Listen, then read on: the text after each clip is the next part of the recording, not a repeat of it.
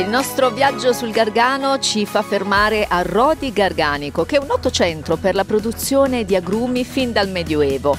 Viva Beach Club presso il Lido Marincanto. È qui che si svolge la nuova tappa del Beach Tour di Radio Selene.